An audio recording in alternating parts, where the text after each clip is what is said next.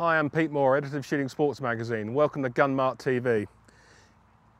Here's a rifle I'm very excited by, Ruger Gunsite Scout, based on Colonel Jeff Cooper's revolutionary Scout rifle.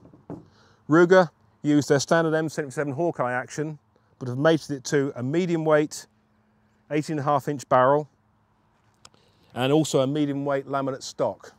A nice feature is the fact the stock has three half inch spacers to adjust your length of pull and a decent recoil pad. Iron sights come as standard, a little adjustable peep at the rear and a fixed blade at the front. Good enough for 100 yards, no problem. Dominated the gun are two features. The 10 round box magazine, which is the first for Ruger centerfire bolt action, and also the Ford Picatinny rail. Cooper envisaged his scout rifle as a go anywhere, do anything gun. To this, he added an intermediate eye relief scope, which sits over the barrel.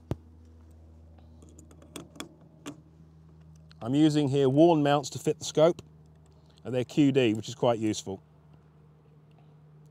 Though looking a little odd, this little optic is easy to shoot with, and again, it's good for 100 yards, 150 yards, which is not too much of a problem. However, Ruger have kept it in, kept it in keeping with, with the guns they know, and you can remove the rear sight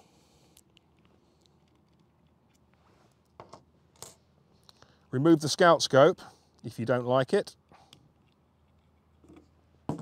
and fit a conventional eye relief scope, in this case the new Zeiss Duralyt, over the action in Ruger's standard integral rings, integral bases.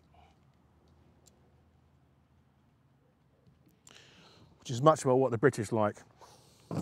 The caliber is 308 Winchester, which is a great round. It'll do most things and it's available in most places in the world.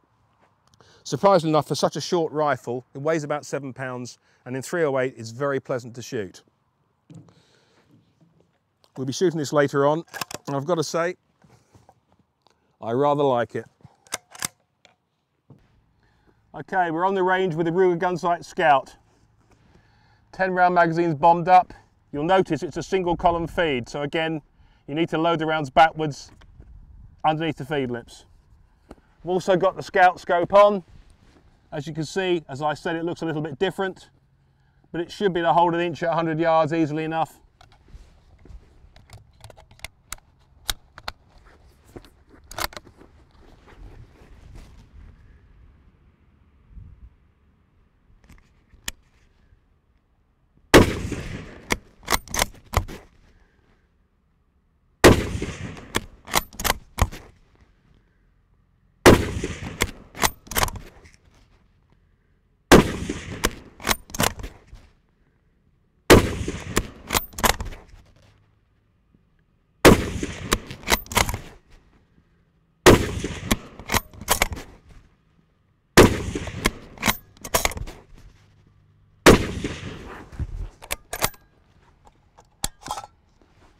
Smooth action, very recoil friendly for 308.